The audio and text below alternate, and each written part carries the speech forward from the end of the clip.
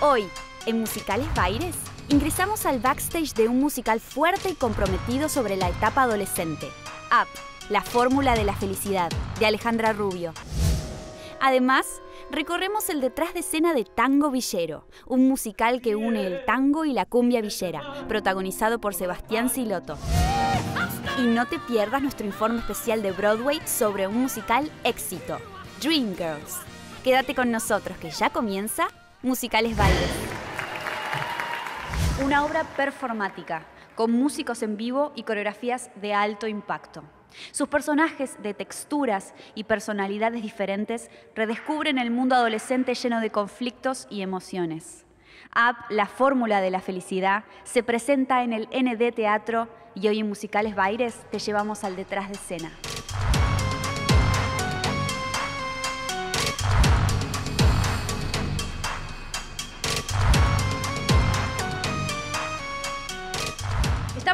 Uno de los camarines del Teatro ND, hermoso teatro, antes de que empiece una nueva función de App, la Fórmula de la Felicidad, con una directora que demanda por parte del actor una entrega total. ¿Cómo fue ese proceso? Fue un proceso difícil, e igual estábamos avisados todos cuando hizo el casting. De hecho, todos pasamos varias etapas, no es que ninguno quedó de entrada. Y nos recordaba, mirá qué jugada, mirá que si yo te pido que vomites allá, vas a tener que vomitar allá, mirá que si yo te pido que saltes para allá, vas a tener que saltar.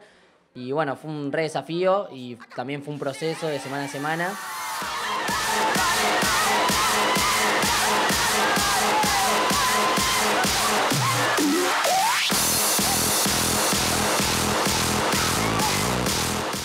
El personaje se llama Nina, tiene una problemática muy fuerte porque es abusada por su padre y a la vez eh, ella se infringe dolor para sanar. Es, es una locura. Yo estuve investigando muchísimo y fue una entrega de un mes porque tuvimos ese tiempo encima cortísimo para montar esta obra. Por eso estoy orgullosa del compromiso que tienen todos nuestros compañeros. Somos 11 en escena, inclusive con banda en vivo. Así que realmente para nosotros es un desafío muy, muy grande. Nos tuvimos que meter en temáticas muy fuertes para abordarlas con respeto, ¿no?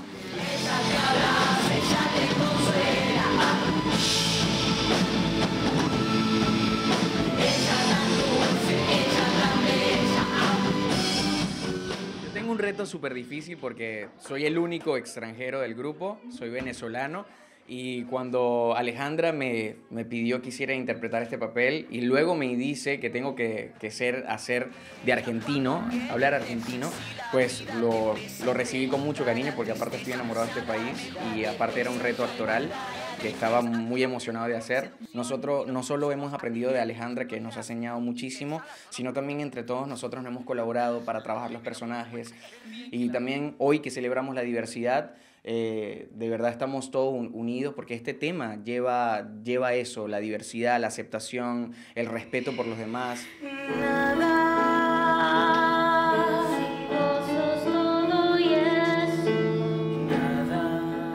Rubio, dueña de la idea y de la dirección de App, la fórmula de la felicidad, con esta segunda temporada, un elenco nuevo, ¿cómo se transitó? Hermoso. Eh, la verdad es que no soy la dueña de nada. la dueña, viste, cuando uno escribe un material, eh, cada, cada equipo que lo abraza es el dueño del material en el momento que lo abraza. Así que, y sobre todo los directores que una vez que dirigimos nos corremos a un costado y bueno, todo queda en manos de los, de los actores que están ahí poniendo el cuerpo y el alma y la verdad que es muy emocionante verlos. Y además es muy interesante ver el cambio de, de, de, texturas y de propuestas con los mismos personajes de parte de un elenco nuevo. ¡Juntémonos todos! ¿Y Elena también? ¡Sí! ¡No! Me parecía una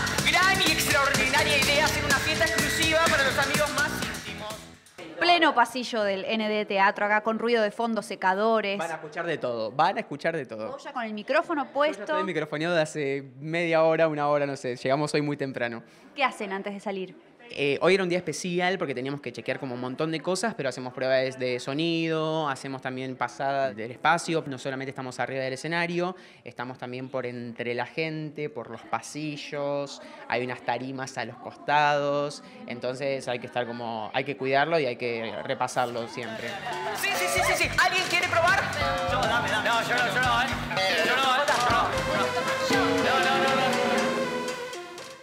Laburo corporal intenso. Es intenso y es muy poco cuadrado, como mm, es todo muy descontracturado, entonces es difícil que quede prolijo sin que se vea sucio, pero que al mismo tiempo se vea suelto. Pero nada, laburaron un montón los chicos y está es todo, todo muy coreografiado, así que nada, la rompen, está buenísimo.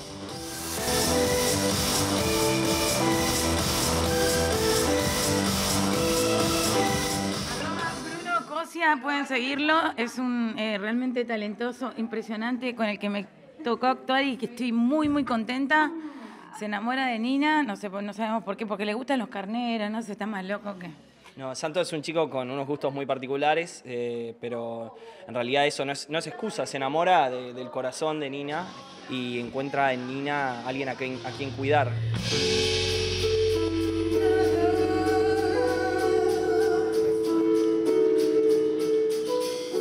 Una música que creo que tiene que ver con todo lo que le pasa al adolescente. ¿Te acordás un poco cómo fue ese camino? Sí, fue una búsqueda de, de- de tratar de evitar la búsqueda tradicional del musical. Eso fue muy importante, poder salir de, de los, los estigmas tradicionales de- del musical a nivel música, de no hacer canciones pop cuadradas que, bueno, funcionan y es lindo y verlo. Hay alguna que otra, pero también eso, hay mucha búsqueda de otras cosas, de cosas mucho más potentes, de cosas mucho más oscuras, canciones que, que- te llevan a un lugar mucho más, mucho más interior y mucho más eh, real.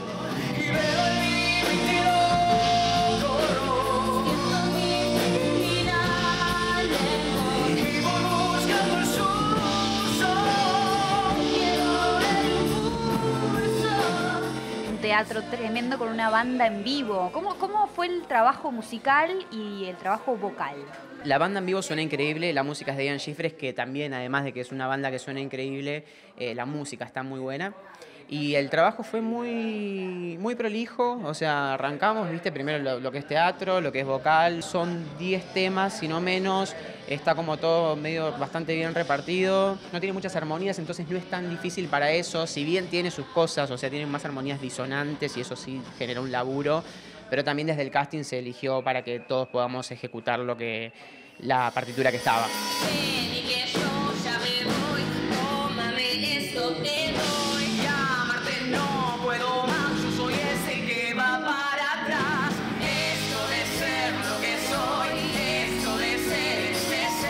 Es hermoso contar eh, historias que, que capaz uno no, no escucharía. Eh, digo, en Broadway hablan de, muchas cosas, pero acá el teatro musical que está haciendo acá, hay un par de obras que están buenísimas, este, que hablan de un montón de cosas que no se hablan y son muy argentinas y son geniales.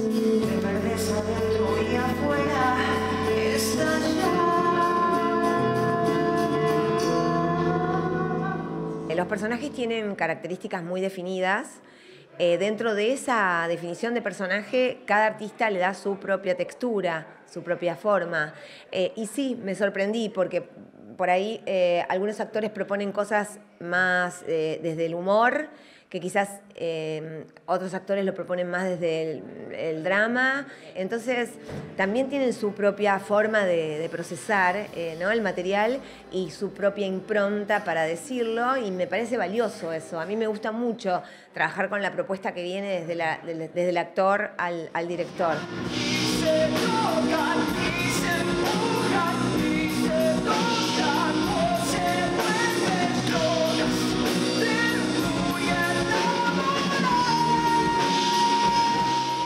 Yo me acuerdo que me daba vergüenza hablar cientos- ciertos temas con mis papás. Entonces, no solo invita a reflexionar a los padres, sino a los adolescentes que tienen que hablar esos temas, porque si no, uno vive en una mentira, no, no va a poder ser feliz.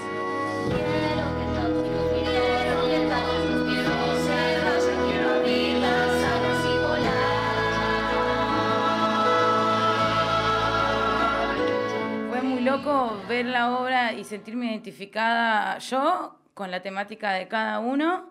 Un poquito de cada uno tiene cada, cada persona que viene a vernos. E inclusive no falta que tengas un amigo que esté pasando por eso. Y creo que lo fundamental de la obra es pertenecer, es la mirada del otro sobre la vida de uno.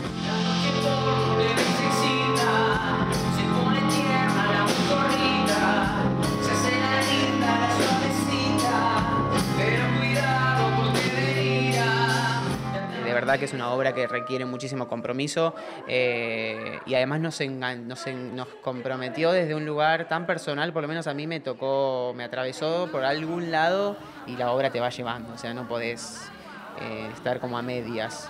Si, si no le tenés la energía, la, la sacás de algún lado, después terminás la función y ves, andás a descansar todo el día, pero, pero acá es inevitable.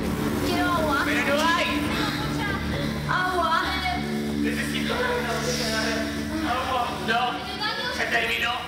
Realmente estoy con la bandera de la, de, la adolescencia, de, de esa etapa tan vertiginosa de la vida eh, que hay que respetar tanto como adultos, eh, que hay que contener, que hay que escuchar.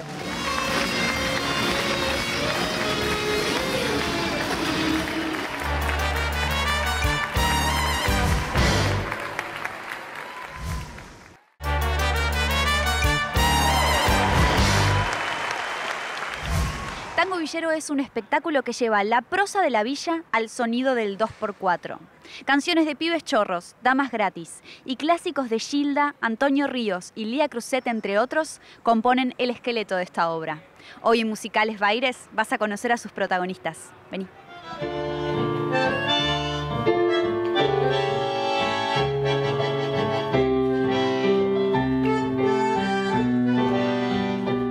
Creador de Tango Villero, quiero saber en qué momento nace esta idea.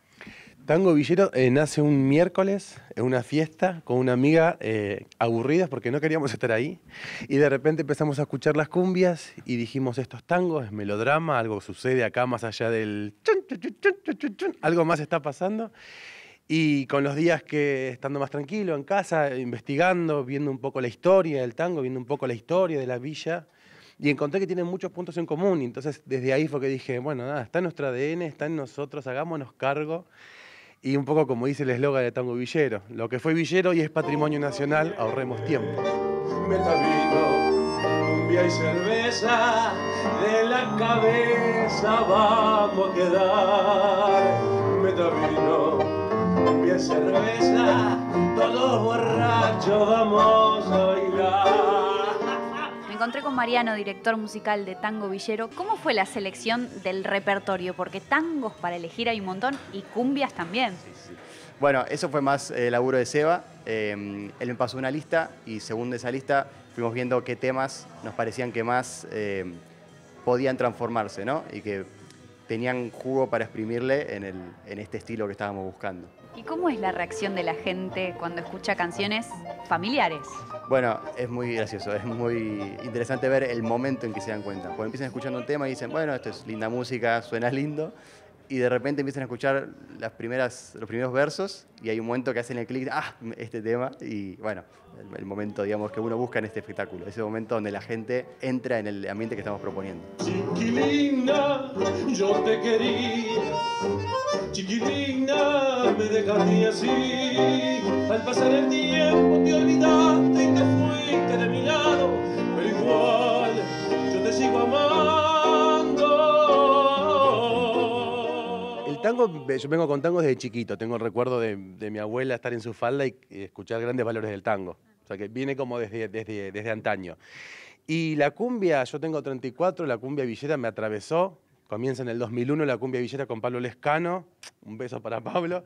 Eh, y nada, mes veintipico, plena adolescencia. Sé que la cumbia un poco que la vi, pero bueno, nada, fue como sentarse y empezar a buscar un poco las similitudes del barrio, los amigos, los amores, eh, la madre. Digo, fumando espero la que tanto quiero. Y decir, quiero ponerme a beber y esta noche fumar un faso por la mujer que rompió mi corazón. Digo, y ha- hablan de lo mismo, cada uno con su lenguaje, con su movida, pero están hablando exactamente de lo mismo. Mabel, para de fumar. La yerba te está arruinando, te va para adelante y te va para atrás. Mabel,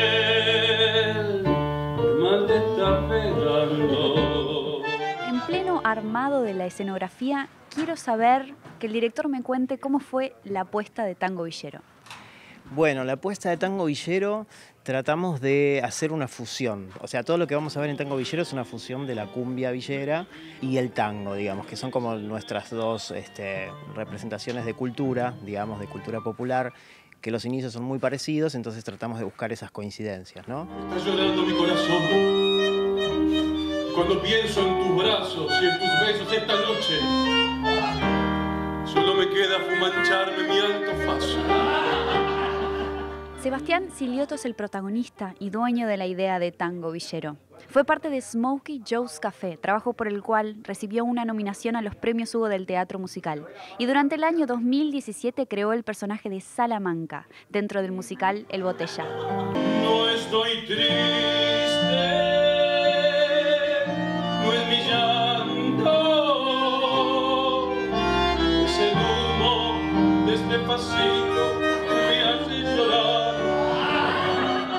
este es el primer acercamiento que tengo yo con el tango.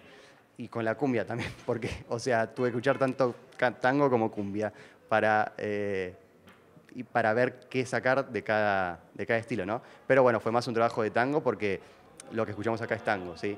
Eh, de la cumbia sacábamos las letras y yo lo que también trabajé mucho que quería mantener es las melodías específicas de la cumbia, no solo en, el- en la melodía del canto, sino en la instrumental también. O sea, lo- todos los eh, soniditos de cumbia que se escuchan están en, en los arreglos de tango, obviamente transformados, pero eh, traté de mantener eh, en la esencia del tango todas esas cosas también. aire que respiro en aquel paisaje donde vivo yo. Tú, tú me das la fuerza que se necesita para no marchar, me das amor. La idea estaba, estaban elegidos los temas, cómo iba a ser un poco el orden del esqueleto, y dijimos, bueno, falta la música. Sin música se nos ponía como difícil, más allá de buscar como un hilo literario o dramático entre las letras. Y nada, tenía que ver con, lo musical, que suene una después de la otra, que suene armoniosamente, que las letras coincidan y cuenten una historia, que un poco es contar la historia de, del pibe chorro y contar la historia del, del tanguero, del, del tipo de barrio, el que se crió en San Telmo por los años 40 o en La Boca. Borracho, yo voy cantando, con mis amigos voy festejando un triunfo más.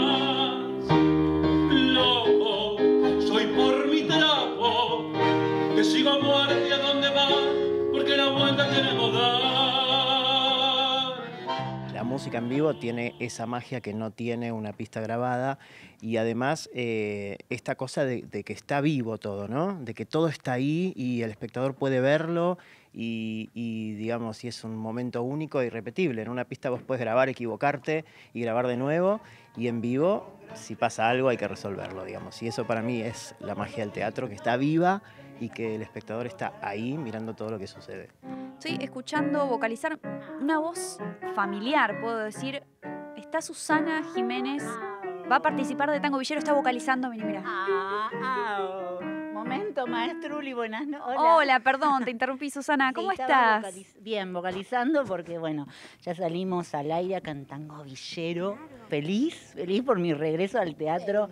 No sabía si iba a volver este año a hacer teatro, pero bueno, Sebastián y Gabriel me, me propusieron y, bueno, la obra es fabulosa y no me pude resistir y acepté. Y bueno, y ahora estoy vocalizando acá con maestruli porque voy a cantar un musical. Ay, contanos, ¿nos puedes adelantar algo de lo Pero que va a pasar hoy? Es un tango. En realidad, bueno, es una cumbia de, de Karina. bueno, y, y bueno, hablo de mis ex maridos, ex amantes. Y Roviralta revoleé el cenicero. Y el corcho me conoció. Muchas rosas me regaló. Un beso para todo el canal de la ciudad. Ay, mi amor, estás flaquita. Estás muy flaquita. Gracias, Susana. Te quiero, mi amor. Bueno, ¿querés vocalizar conmigo? Bueno, me quedo, dale, dale. a ver. ¿Con O? Eso, sí. Oh, con L. Lo, lo, lo, lo, lo, lo, lo, lo, lo. Eso. Con la misma moneda te pagué infeliz. Ahora vas a saber lo que es ir por ahí. Que se rían de ti, que se burlen de ti y que te hagan la seña con los dedos así. A veces se cree que es que uno eh, busca un camino y ya está, y en realidad no. Eh, probamos una cosa, después otra, y hasta encontrar esto que está ahora armado, eh, pasamos por muchos lugares, por muchos caminos. y me parece que es la, esta es la forma más linda de contarlo.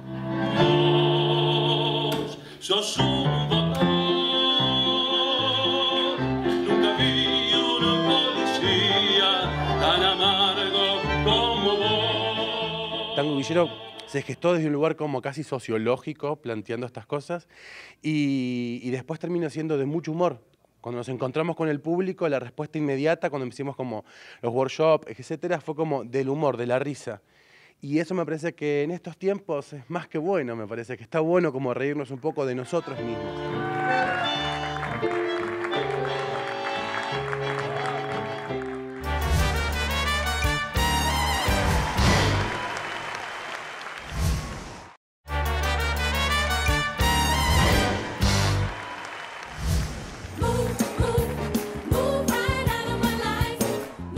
Todo comenzó como un proyecto que le escribió Tom Ian a Nell Carter.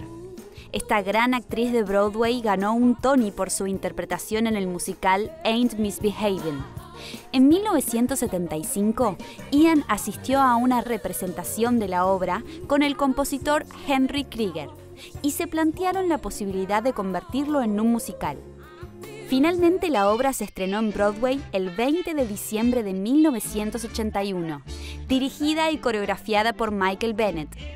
La obra fue muy bien recibida por crítica y público, consiguiendo alzarse con 13 nominaciones a los premios Tony, de los que consiguió 6, incluyendo los de Mejor Libreto, Coreografía y Actor y Actriz en un musical.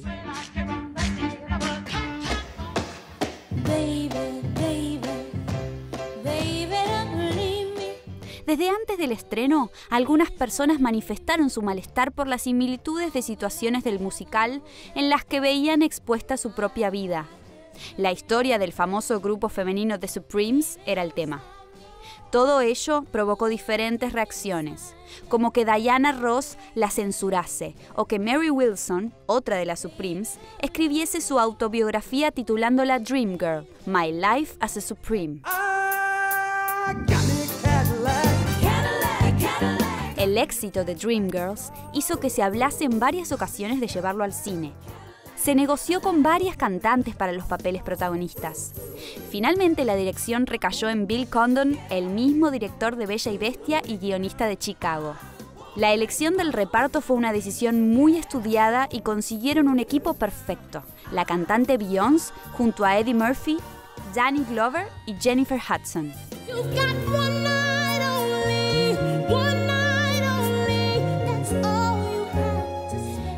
Friedman compró los derechos del musical para estrenarlo en Londres. Se realizó en el Savoy Theatre del West End el 14 de diciembre del 2016, disparándose la venta de entradas en cuanto se hizo pública la noticia. Dreamgirls es un musical brillante que cosecha adeptos alrededor de todo el mundo.